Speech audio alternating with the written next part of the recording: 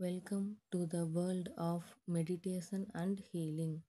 Trust in the power of your body and mind to heal and restore balance. Remember to be kind and gentle with yourself during this practice.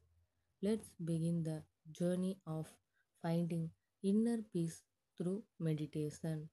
Today's motto is during meditation, inhale the future and exhale the past.